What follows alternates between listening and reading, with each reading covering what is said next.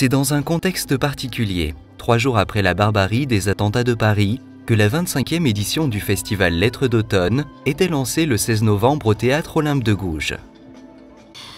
Aujourd'hui, jour de deuil national, jour de peine et de colère, il importe plus que jamais de résister et de combattre. Résister au désespoir, combattre notre peur, cela a été dit avant moi, répondre à la mort en affirmant haut et fort la puissance heureuse de la vie. La création artistique est vous l'avez dit Nicole, l'une des plus hautes formes de résistance. Et nous tous ici rassemblés pour célébrer la fête de la littérature, nous incarnons, comme vient de le dire même Salomon, le combat inlassable de la pensée contre l'obscurantisme.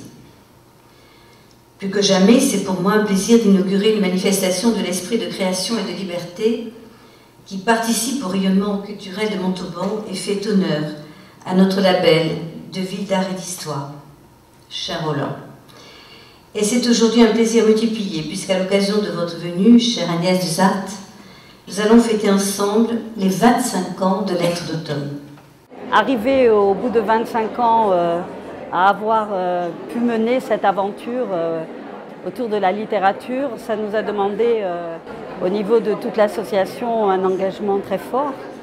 Et donc le contexte fait que tout cela est teinté de, d'à la fois de beaucoup de tristesse, mais aussi de beaucoup de force, parce que c'est important pour nous justement de réaffirmer la place de la culture et de l'éducation.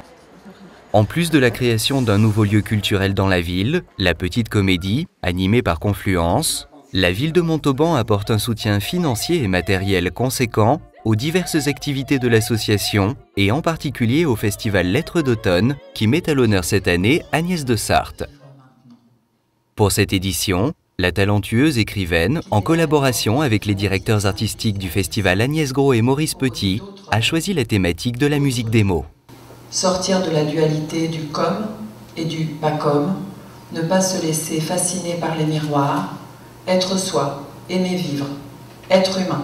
La musique des mots, c'est venu du fait que la musique a précédé les mots euh, dans ma vie pratiquement. Euh, comme je l'ai expliqué, il y avait beaucoup de langues parlées chez moi, donc il y avait beaucoup de, de mots que je ne comprenais pas et qui ne m'arrivaient que par leur sonorité. Et puis aussi, comme je savais, peut-être j'avais dans un coin de ma tête l'idée qu'on pouvait inviter euh, que le principe de l'être d'automne, c'était un principe d'hôte, être autre, invité. Je m'étais dit que j'avais drôlement envie d'inviter des musiciens.